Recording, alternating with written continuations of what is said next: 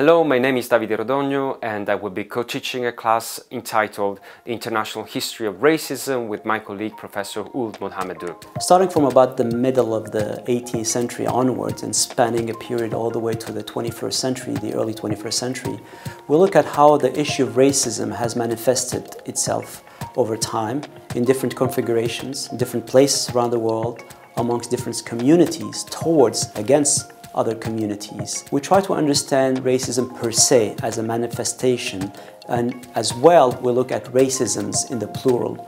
Afrophobia, anti-Semitism, Islamophobia, anti-Roma, all manners of specific forms that this has taken around the world and over time. We're going to explore these themes using the historical methods, even though, of course, we're going to pay attention to other disciplines uh, that we do teach and research at the Graduate Institute, including international law, international relations, anthropology, and international economics.